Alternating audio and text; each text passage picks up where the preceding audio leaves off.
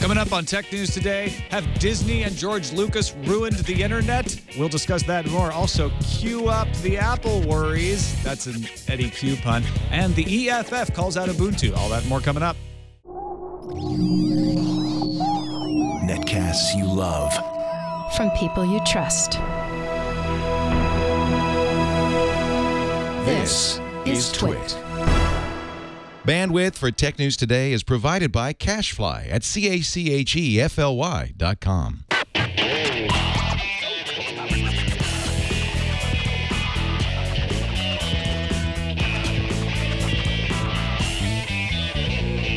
This is Tech News Today for Wednesday, October 31st, 2012. Tech News Today is brought to you by Audible.com. To download a free audiobook of your choice, go to audiblepodcast.com slash TNT and get a copy of Brandon Sanderson's Legion absolutely free at audible.com slash Sanderson.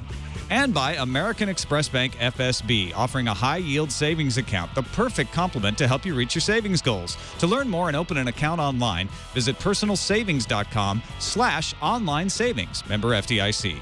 And by Gazelle, the fast and simple way to sell your iPhone, iPad, MacBook, or Android smartphones. Find out what your gadget is worth and get cash to upgrade to the latest iPhone at gazelle.com. Welcome to Tech News Today, Halloween edition. I'm Tom Merritt. I'm Sarah Lane. I'm Iyaz Akhtar. And I'm Jason Howelween. Audio No. listeners missed the joke where Iyaz, dressed as a policeman, takes off his shades and reveals he has glasses on underneath. That was, Well, it's more. I need the glasses. was pretty freaking awesome. uh, this is the show we keep you up to date on the most important stories in the tech world, starting each time with the top 10 stories of the day in the news feeds.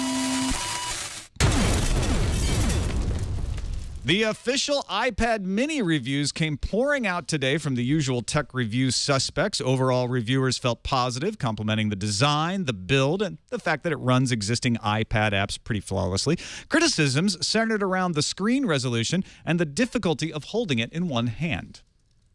But forget about iPads. Who wants to know how the Nexus 7 sales are going? Anybody? I do. I Oh, definitely good. Google's Nexus 7 sales are good. Almost 1 million units a month good, says ASUSTeK, the tablet maker, during their third quarter earnings call on Tuesday. If you compare that to Apple's third quarter sales of 14 million iPads, the number doesn't sound so great for the Nexus 7. But then again, Google's announcement of the Nexus 10 tablet and the Nexus 4 smartphone this week's proves that the company is pretty confident they know what they're doing. And now on to me with the weather. I dressed up wrong for that too. Hurricane Sandy is beating up the internet infrastructure. The undersea cable Atlantic Crossing 2 faced sporadic issues. An outage in Manhattan affected a Swiss provider of IPv6 infrastructure. Also, the FCC says that the hurricane has taken down 25% of cell sites belonging to the U.S. wireless carriers, and that most of the remaining cell sites that are operational are being powered by generators. The FCC warns that those operational sites could run out of fuel before electricity service is restored. Debates, sporting events, hurricanes. Can Twitter take much more? Well, it did yesterday when Disney announced it would acquire Lucasfilm and all its properties and sub companies for $4.05 billion U.S. in cash and stock. George Lucas expressed his intent to transition Star Wars to a new generation of filmmakers. He will stay on at Disney as a creative consultant for new Star Wars movies, the first of which, Episode 7, is set to come out in 2015. Microsoft's tiles are a ripoff. At least that's what Surfcast, an operating system technology designer, is claiming. In a complaint filed in a U.S. district court in Maine, Surfcast says Microsoft infringes one of its four patents by making, using, selling, and offering to sell devices and software products covered by Surfcast's patent. That includes Windows Phone 7, Windows Phone 8, Windows 8, RT, and unsurprisingly, Surfcast wants Microsoft to account for and pay to Surfcast all damages caused to Surfcast by reason of Microsoft's patent infringement. Kickstarter has opened up shop across the pond. The crowdfunding site is now available for use in the United Kingdom. Until now, you'd have to set up a Kickstarter account in the United States. Kickstarter says it has plans to expand to other countries soon.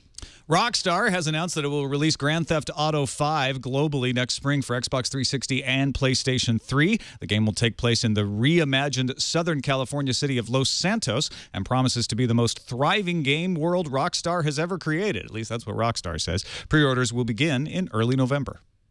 Walmart will start carrying the $99 Boxee TV set top box at 3,000 locations across the U.S. Boxee's No Limits DVR was announced earlier this month and connects to a television set, has no onboard storage because it acts as a DVR through the cloud, including over the air television transmitted through Boxee TV's built in antenna. The DVR capabilities will run customers $14.99 per month. You think 48 core processors are for fluid dynamics and linear algebra? Intel Yeah. wants to put one in your phone. Well, they, they want to put all Steve 48 in your phone. Well, they want to put the cores in your phone. I'm stalling because the news here is just that Intel CTO Justin Rattner says mobile implementation of 48 core processors could happen much sooner than the 10 year window predicted by researchers. Promises, promises. Also, the researchers have got to be pissed at having their deadline bumped up. Google's updated its iOS app with enhanced voice recognition. Now, when you search, you'll get a much more Android like experience. You won't get Google Now cards, but the app will answer you when you ask it questions about sports, weather, and directions. I played around with it this morning, and it's pretty quick.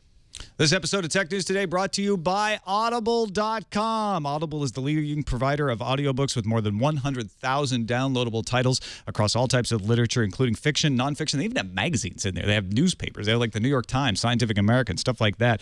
Listeners of Tech News Today get a free audiobook of their choice to try out the service if you haven't tried Audible yet go to audiblepodcast.com slash tnt and get a free book. Any of their one credit books are available absolutely free no obligation. Just download it try it out.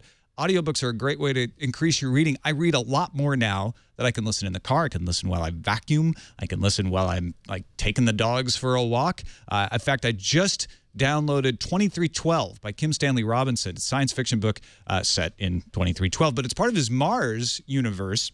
If you've ever read any Kim Stanley Robinson, it's a it's a great extension of that universe. Or even if you haven't, it's a good introduction to him. But that's just one book that you could read. There's all kinds of stuff in there across all kinds of genres. So go to audiblepodcast.com slash TNT. And then while you're there, get another free book, Brandon Sanderson's Legion, absolutely free.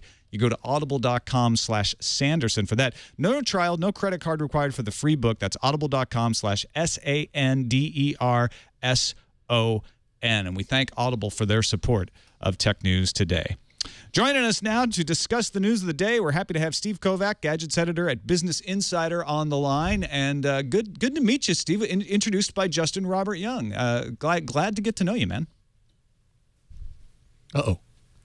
Yeah, thanks for having me. Uh, Justin's a good old friend of mine from college, so I'm glad to be here. Well, let uh, we got lots to talk about, uh, and starting with the fact that uh, Disney announced the the breakthrough news that they have purchased all of Lucasfilm. Lucasfilm, 100% owned by George Lucas, but it won't be for long. 4.05 billion dollars, pretty evenly split between cash and stock, will be going into Lucas's pockets.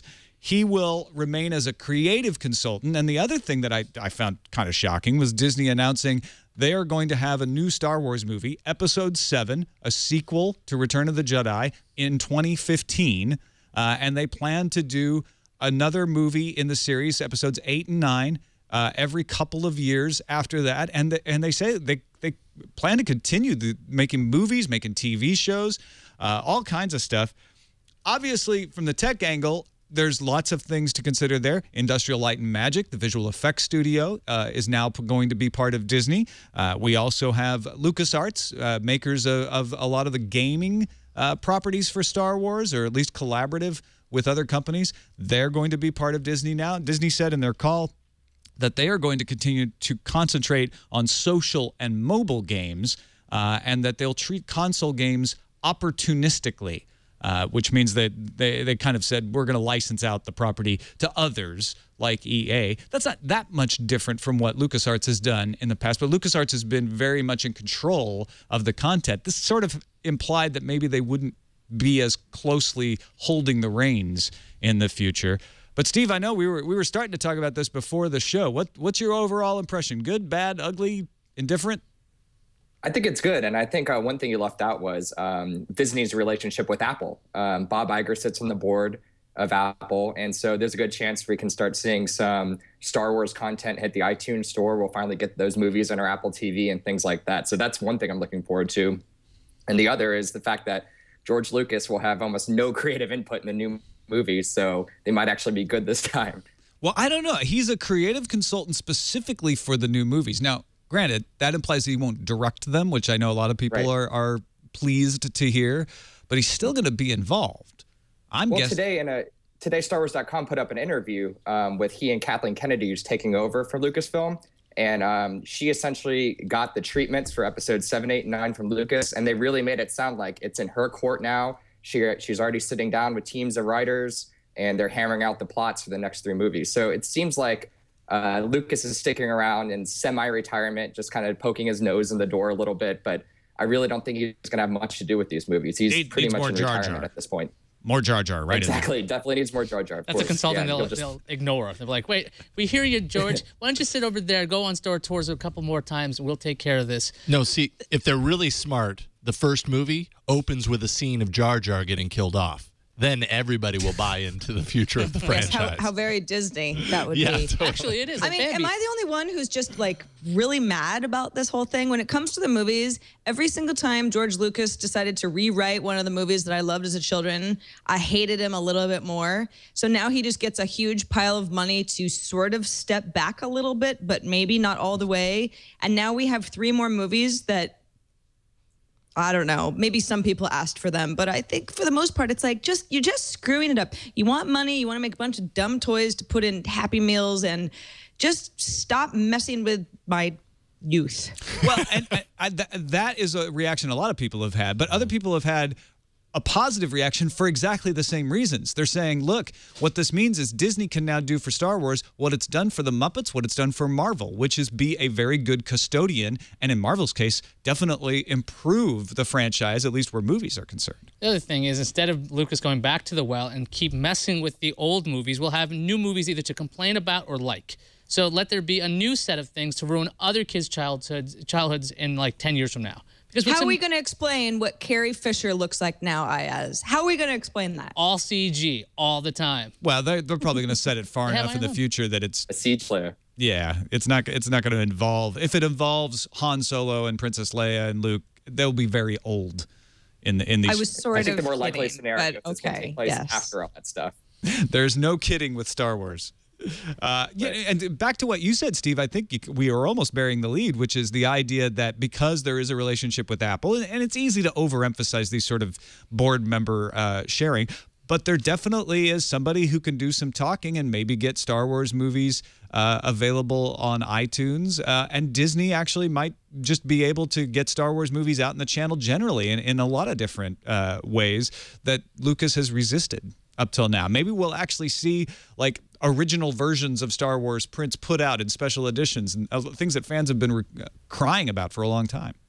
You have to think of all the stuff that um, that Disney owns. They own ABC, they own ESPN. They're a huge empire. Um, there's potential for children's shows on ABC, Saturday morning cartoons, or something like that.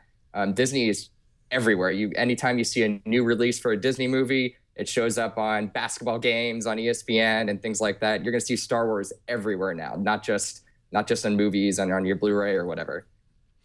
All right, uh, let's talk about Apple Fallout. Still a lot of uh, talk happening around the removal of Scott Forstall, his delay, uh, and and what that means in the executive shakeup. Sarah, what's what what are people saying? Well, you know, some of some of this has to do with the fact that we just heard iTunes is now delayed until the end of November. At the iPad Mini event uh, last week, a lot of people were hoping to at least get an update on iTunes, if not an actual rollout of the new iTunes that we had seen previews of and we had been promised in October. Obviously, this is the last day of October. It's not happening. We're supposed to get it in the next 30 days, which ties in nicely to the conversation we had yesterday, where it was like, okay, Apple's now on a scheduled release uh, situation, and that might not be working that well for the company. You know, maybe Forstall was not working that well with other departments uh, because of that. It's sort of the first evidence that we see that Apple's like, you know what, we're not going to have another Maps debacle. If iTunes isn't ready, then we don't release iTunes. Um, as you mentioned, Tom, there is quite a bit of conversation going on still about Scott Forstall being out and what exactly that means for the reorg that's happening uh, within Apple itself. and specifically with Eddy Cue, uh, who's going to absorb a lot of what uh, Scott Forstall was uh, responsible for. By the way, now that the markets are officially open again, Apple is down uh, a little over $14, uh, which is not too, uh, it's sort of to be expected, but worth mentioning. Could be Lowest a little sell on the late news July. sort of thing. Yeah. Yeah, well, people are a little bit nervous. Hey, what's going on at Apple? Is this bad? Is you know, do they know what they're doing? Is this going to be good for everybody? You know, it's uncertainty really that's uh, that's affecting the stock price.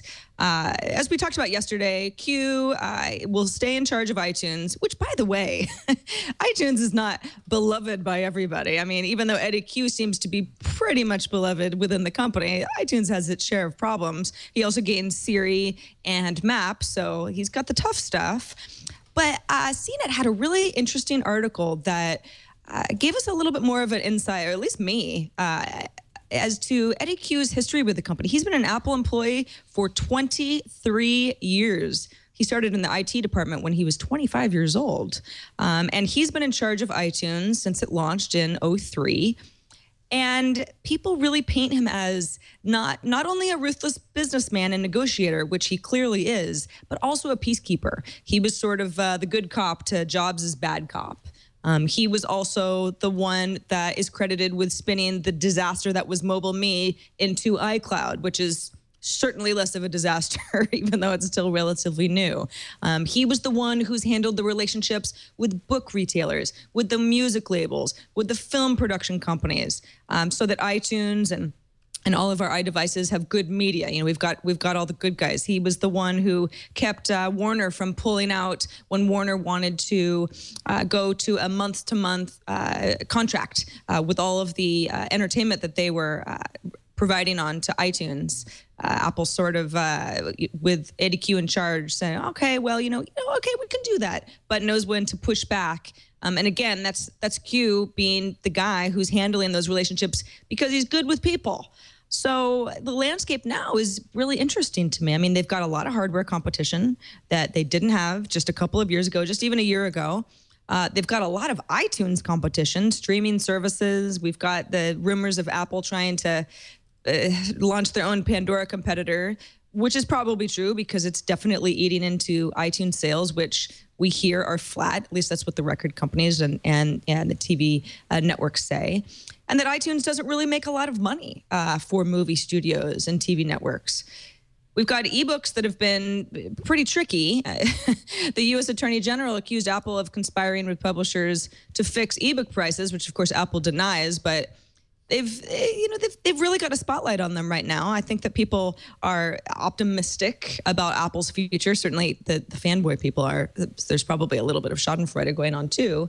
But uh, i don't know. What, what do you guys think? I, I feel like knowing a little bit more about Eddy Cue makes it seem like this this all makes sense to me. I mean he's got a lot of responsibility but it seems like it makes sense for this guy to be in charge of itunes going forward siri and maps. It all it all ties together It's all made sense to me for sure. Uh, Eddy, Eddy Cue is is the fixer, right? He's he's the guy who who comes in and, and polishes up things like Mobile Me and turns them into iCloud, which uh, let's be honest is not perfect, but it certainly works uh, lo- a lot better than than Mobile Me ever did. And iTunes does have its disadvantages, as you mentioned.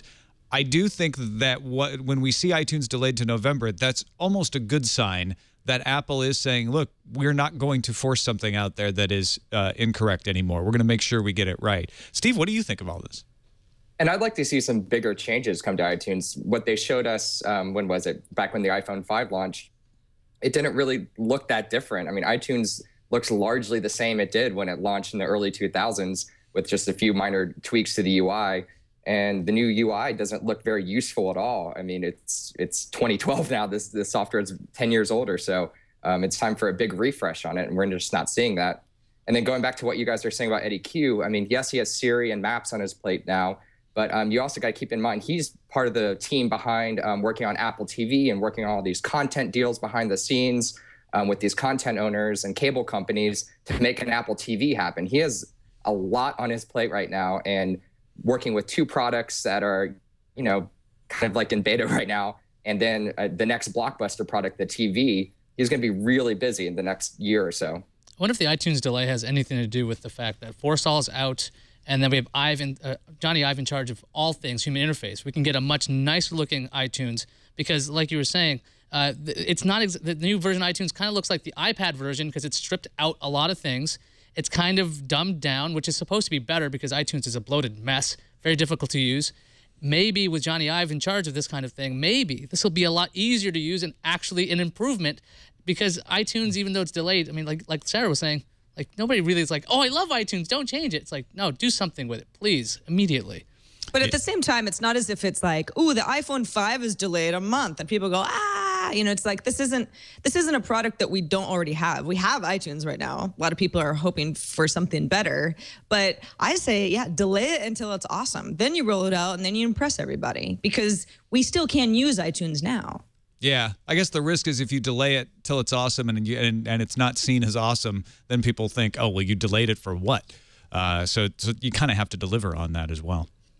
Let's move on to the Electronic Frontier Foundation, uh, publishing a post today criticizing Ubuntu's rollout of the Amazon shopping service in the da- in the Unity Dash interface. Yeah, the post is actually I think about two days old, but a PC World did an article about it, and I somehow missed it. But the EFF is really irritated with the way Ubuntu 12.10 handles privacy. If you're unfamiliar, this the search feature in Ubuntu called Dash will search for things on your machine, and it also added a search for online things. So searches will show results from Amazon affiliated advertisements and for other products, and it's turned on by default. Now, Mark Shuttleworth, uh, founder of Ubuntu, says, "Look, you're obviously safe. We have root access to your machine. You obviously trust us."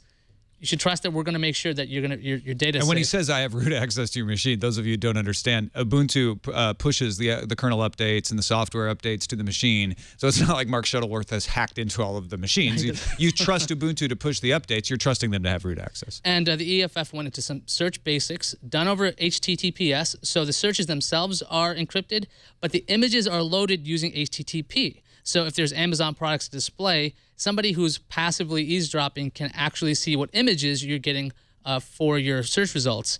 And even if the images were loaded via HTTPS, there's a fear that Amazon would correlate the images with the IP addresses because it's being served from Amazon directly. Now, Amazon isn't the only company seeing your data. There's some information in the uh, Ubuntu uh, terms of service saying that other third parties can look at your results, including Facebook, Twitter, and the BBC. The EFF, and we have a, we'll have a link to this in the show notes, has instructions on how to remove this and how to turn off search in, in the dash if you want to. And there's like a plea at the end of the post saying Windows and Mac users are used to having their data sent to third parties without their express consent. Let's make sure Ubuntu remains an exception to this. Now, Tom, you you have you're running Ubuntu 12.10 there. Is this privacy concern, you know, something that seems legitimate to you as a user, or is this some kind of like unnecessary? Let's all panic. Uh, it seems overblown to me. Uh, however, I do agree with all of the points of the EFF article, which is this should be opt in, not opt out. I understand what Ubuntu's doing. They're making money off referral links, uh, and they provide uh, a lot of great guidance in, in, in the Ubuntu project, and they, they need to make money, and I, I don't begrudge them that. Uh, however, by default, having every search I make go to their servers and then head to Amazon. And yeah, we've got these images coming back. And if I'm I'm searching my own hard drive for something, I'm still getting images back from Amazon. Granted, if I'm on an open Wi-Fi connection, I should be using VPN and, and taking proper security provisions. Uh, but that I shouldn't have to think about that when I'm searching my hard drive for the privacy settings app, which is actually that's the way you turn it on. Yeah, press dash, type in privacy search results will say when searching in the dash include online search results. Turn that to off. I've left left mine on. I'm going to turn it off right now actually uh, because i I didn't really care. It was disconcerting the first time I went to Dash and I saw a bunch of Amazon results in the more suggested underneath, and I and I was just, just looking for gedit. Uh, so and it's kind of weird the kind of things that come up when you're looking for programs like gedit. Uh, but again, I don't think this is a horrible thing. I don't think it's a horrible thing that they might put in Twitter results and Facebook results as options. But again, I totally back the EFFs. This should not be on by default. This should be something that maybe Ubuntu encourages you to turn on because it's useful, but you should turn it on, not Ubuntu.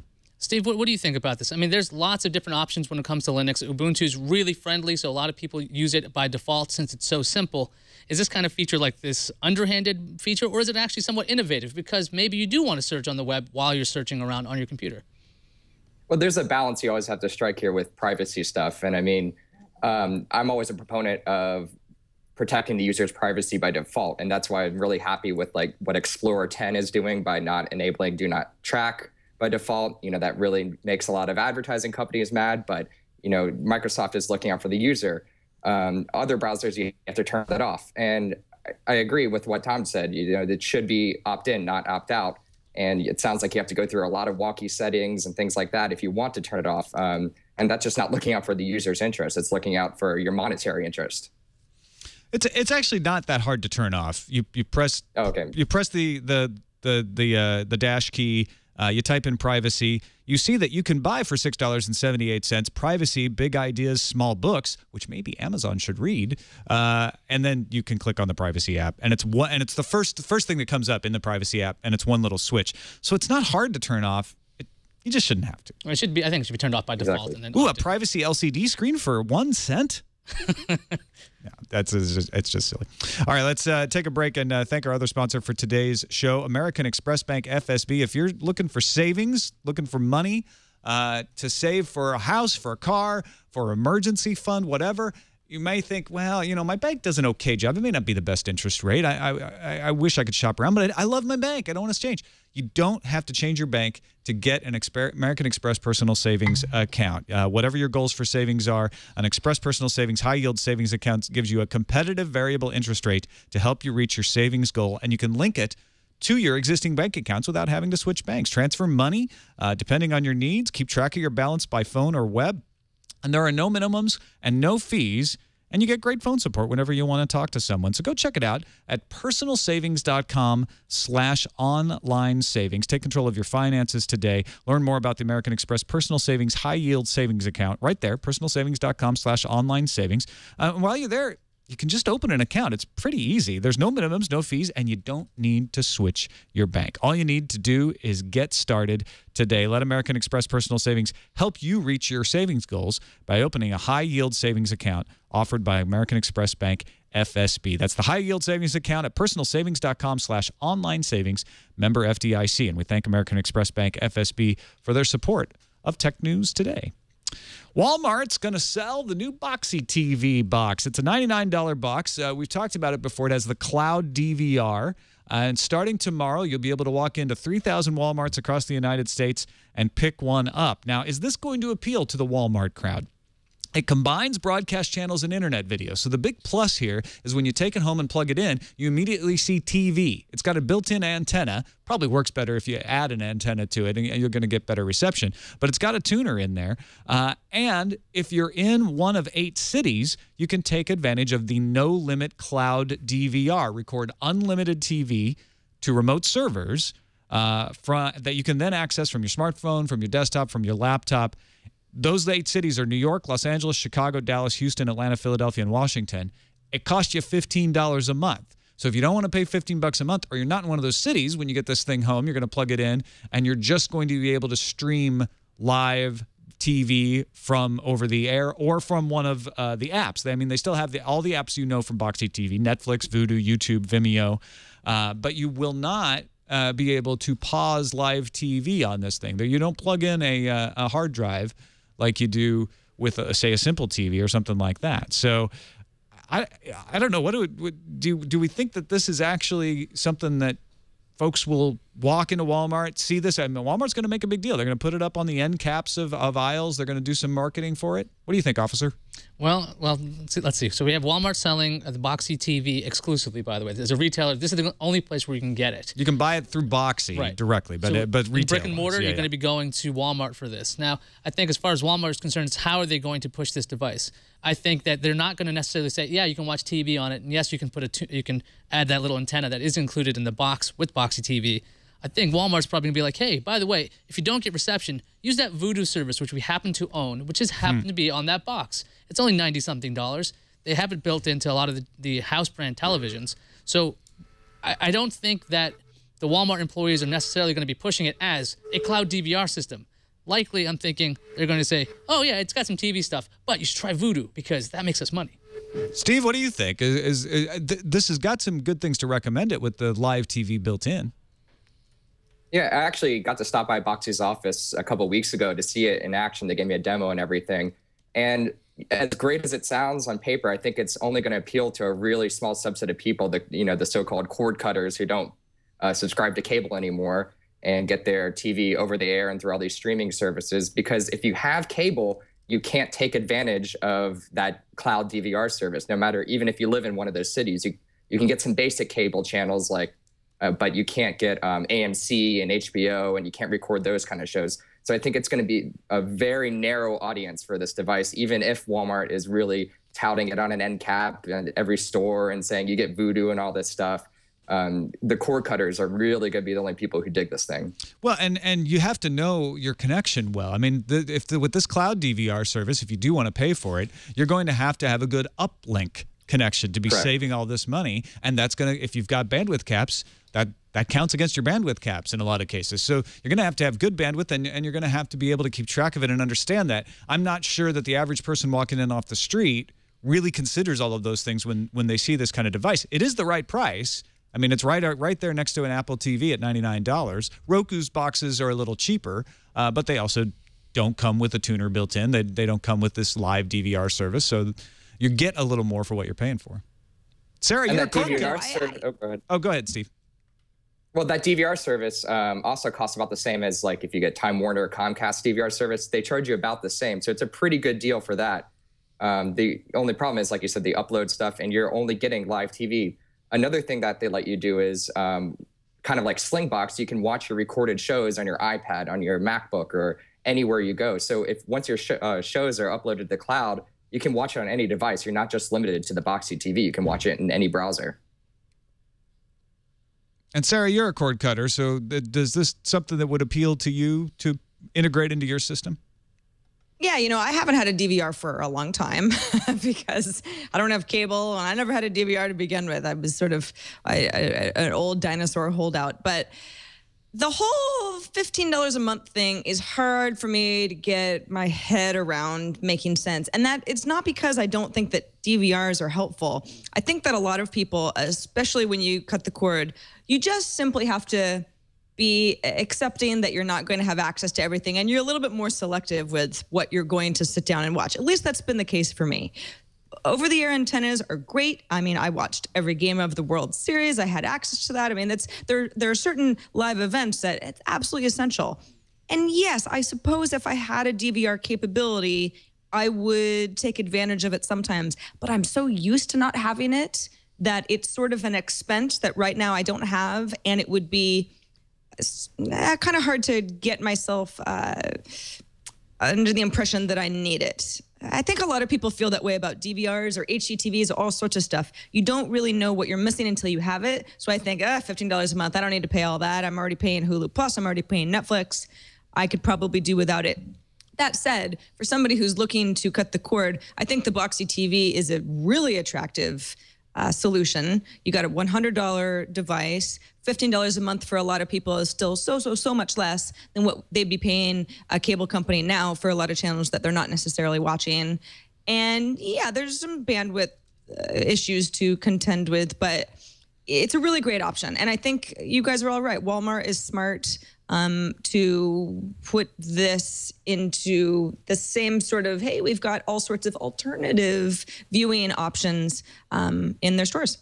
I oh, guess you of probably just roll your own, right? I mean, because you can do all the stuff that Boxee is doing with a nice big terabyte hard drive in your house. You could do that, and that wouldn't have the same concern with the bandwidth, you know, up, upload and download speeds. But the thing about moving your files from a Media Center PC or a TiVo or your DirecTV box or any of those things, trying to get that content off without using a special app that's blessed by some company, it's kind of a real pain. So the fact that Boxee Box has this hook as well, that cloud DVR, mm-hmm. to me, I could see that being a really convenient option, assuming you can get the bandwidth. So I mean, I probably would try to make my own work, but I, it seems like it's a it's a lot of heavy lifting to get those files from Windows Media Center to iPad to whatever other device you have. It's a real real pain.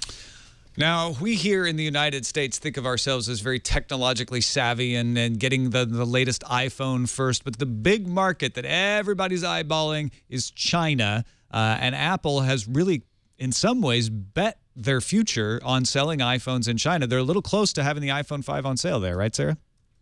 Yeah, I'll say. I'm sorry. I just had to go Apple heavy with the news today. I'm just feeling so Apple-y.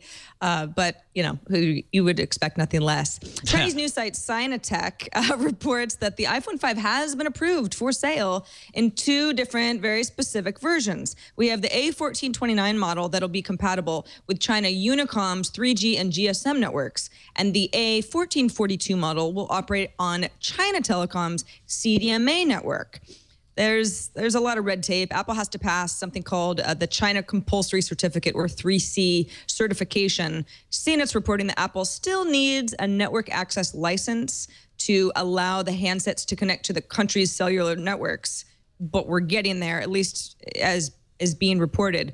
Of course, China Unicom is the number two network in China, part owned by the state, 5% owned by Spanish uh, uh, mobile giant Telefonica, has 180 million subscribers, a little bit more than that actually.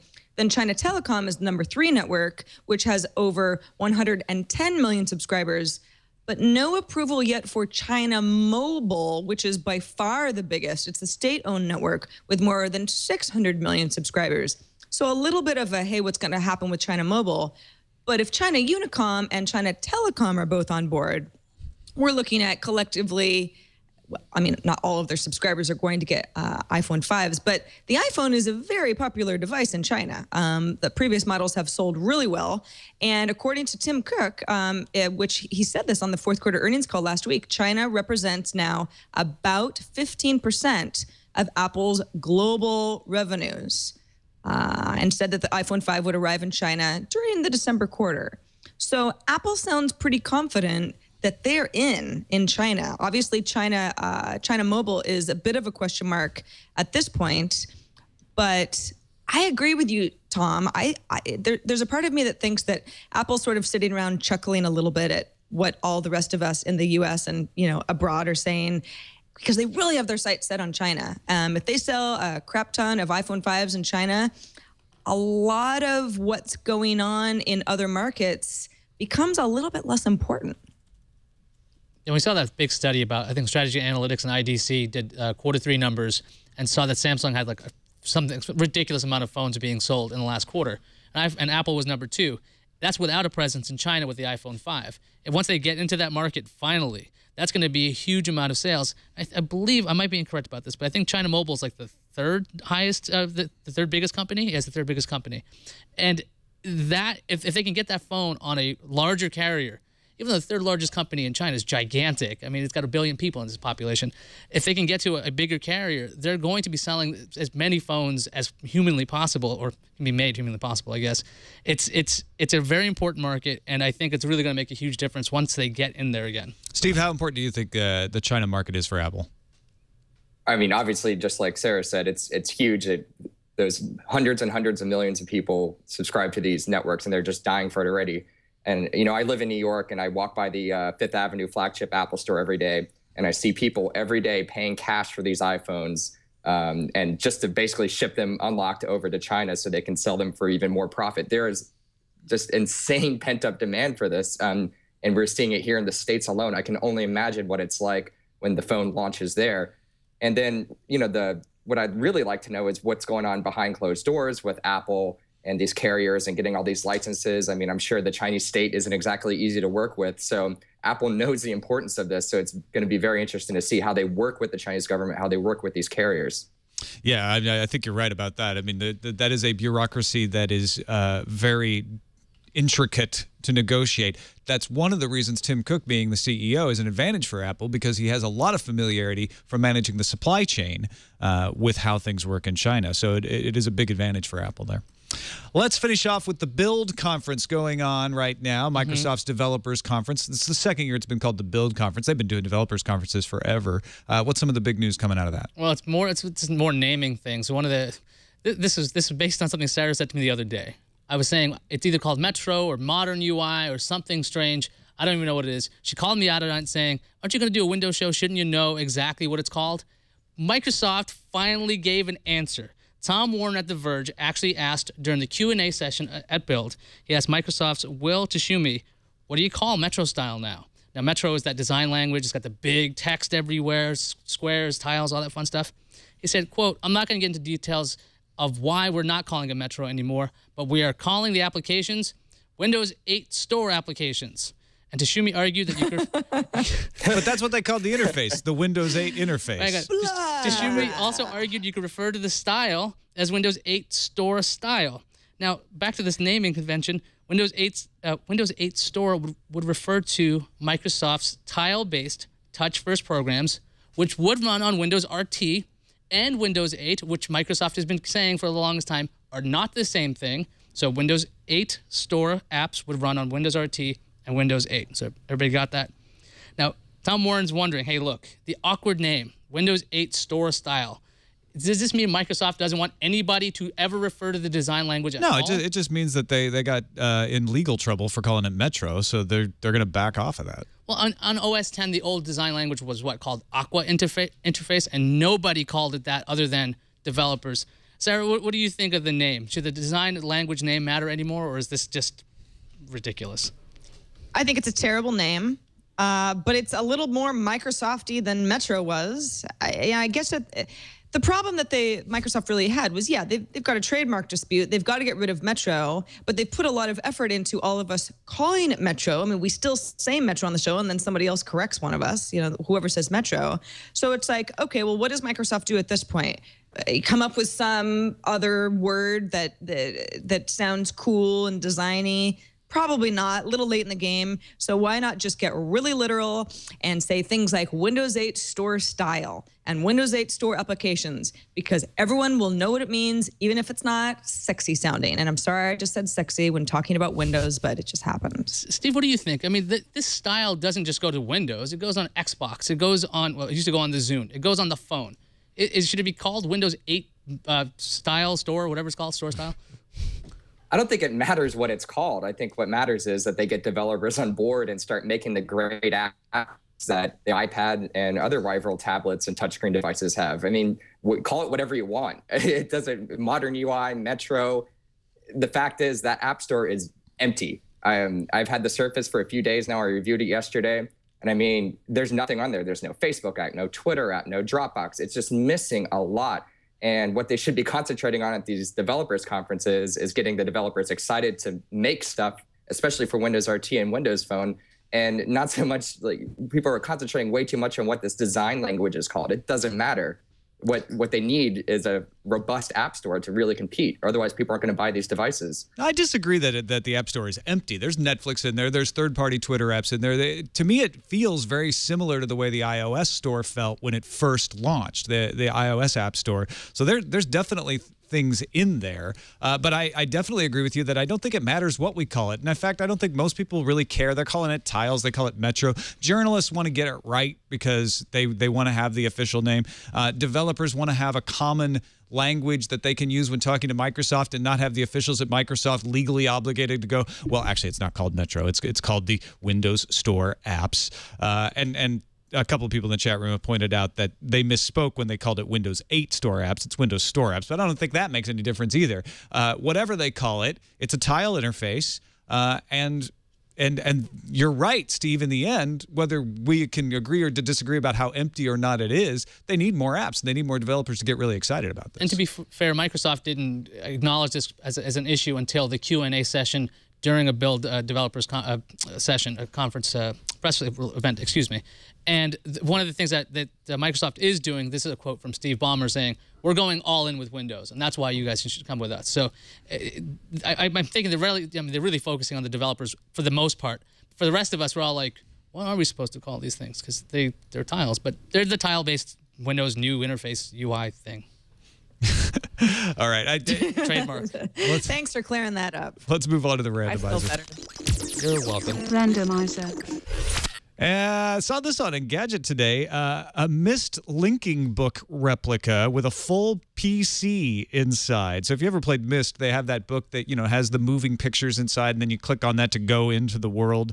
Uh, this is a, a, a book with a Windows XP PC with a 1.6 gigahertz Atom processor, two-hour battery, five-inch touchscreen, and every playable game from the Myst series stored on a CF card.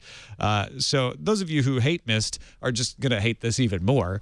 Uh, but the Myst fans out there, I'm sure, are just going gaga over it. when I saw this, Yeah, I'm googling right now where I can buy one. when I saw this, I think you could do this much easier with a tablet, but I will give these guys credit for doing this. This is very difficult. They put a 1.6 gigahertz Atom processor in there, five inch touchscreen. I mean, this is a real computer in a book. It looks great. So good on you guys for putting that together. I, I'm just, I'm psyched. Oh, that- look at the little Windows XP launch screen inside the book. That's so cute. What if it was 95? That would be even better. Actually, it'd be closer You to to to right, you know, because that's the Myst era. Yeah, they should have gone era appropriate. I guess XP is a little more stable though, so that that's probably a good choice. But uh, very cool stuff over there at Engadget. Uh, thanks for pointing that out. Let's uh, take another break. Thank our other sponsor for today's show, Gazelle. If you want the new iPhone before you get the new one, make sure you get your money for your old one. And, and let me tell you, the simplest way you're going to do it is go to gazelle.com, use your gazelle.com to convert old gadgets into cash. Uh, G A Z E L L E.com. Tell Gazelle the condition of your device. They'll even buy broken iPhones for cash. Get a risk-free offer for your gadget and lock that quote in for 30 days. You don't it's risk-free, so you don't even have to sell it. You just go lock in the quote because probably not going to get bigger over time. So do it today, and then you can take your time to find out what gadget you want to buy. Once you're ready, they can they give you a shipping label, so you ship it for free to Gazelle. Once they get it in, they'll email say, "Hey, we're checking it out." They'll tell you, "Okay, we, we've verified the condition. We're going to send you your money in a couple days. You get paid by PayPal or cash." What's your iPhone worth? Take a minute and go to Gazelle.com to find out. Sell your used iPhone, iPad, MacBook, Android smartphone today at Gazelle.com, and we thank them for their support of Tech News today. Let's take a gander at the calendar. You still have the calendar when you're at home, Sarah? Yeah, you know, it's amazing what the cloud can do for me. Thank you, Google. Yelp and LinkedIn have earnings reports tomorrow, November 1st. It's already November 1st tomorrow. Ah, everybody panic. NTT Docomo translation app is also launching tomorrow. It's going to get a lot of people excited, people who like translating things anyway. The LG Nexus 4 is hitting O2 in the UK on November 13th. And if you're interested in when you're going to have access to Grand Theft Auto 5, Rockstar says spring 2013. So you can hold your breath if you have a really good set of lungs, unless it gets delayed. You know what, Tom? I don't feel like your lungs are that strong. All right, let's see what's incoming then. Incoming message.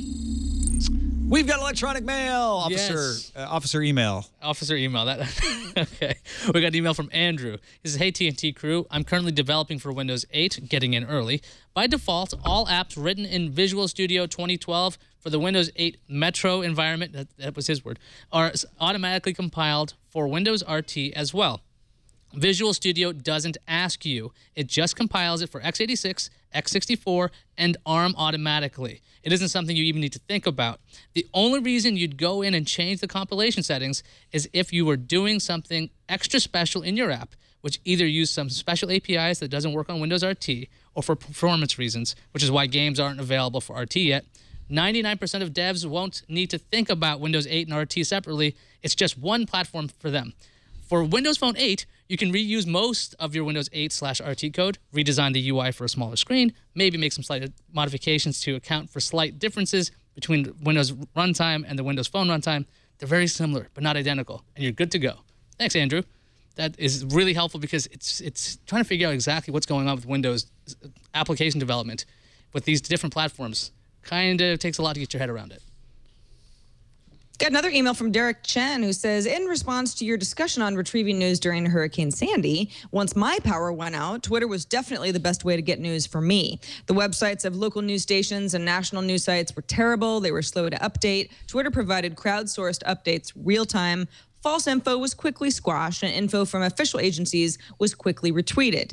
Unfortunately, by the next day, cell reception was lost among blacked out areas, so I couldn't get onto Twitter or any site on my phone. Actually, the only thing I could connect to was the local news broadcast via digital FM radio on my Android phone. Boy, was I glad that my phone had that feature. He says, I'm emailing from a mate's flat in Astoria. Good to know. Thanks, Derek. Uh, and finally, got an email from Rob in Thornhill, Ontario, Canada. We were we were making fun of the can do and the fact that Canada's getting a phone first, and we called it Canduda. He said you had a few laughs with can do in yesterday's show. Nuclear reactors in Canada are called CANDU reactors, C A N D U. They were designed to use natural uranium, which Canada had in abundance, and the name is sh- short for Canadian Deuterium Uranium. You can check it out at candu.org, C A N D U. Dot org. Uh, today, they could be called Canadian Nuclear Old Technology or cannot reactors, since they've had some operational programs uh, problems over the over the past few years. Thanks for that, Rob. Uh, so when we say can do, we're going nuclear. It's good to know. That's it for this episode of Tech News Today. Uh, Steve Kovach, thank you, man. It was great to have you along. Uh, great insights. Let folks know where they can find more of you online. Yeah, I'm the gadgets editor at Business Insider, so businessinsider.com slash SAI, and on Twitter at Steve Kovach. And uh, if you want to come back on Tech News Today anytime, my friend, uh, you're welcome. Thank you for having me. I You appreciate could, it. You can find us, uh, you can suggest stories for us at our subreddit, technewstoday.reddit.com. Don't forget about that. You can also find us on the web at twit.tv slash TNT. You can email us, TNT at twit.tv, or give us a call. Leave us phone mo- vo- voicemail message on the number that's with the phone at 260 TNT show. I'm done. That's it. I'm out of here. Derek Coladuno joins us tomorrow. We'll see you then. Drop the mic. I guess so.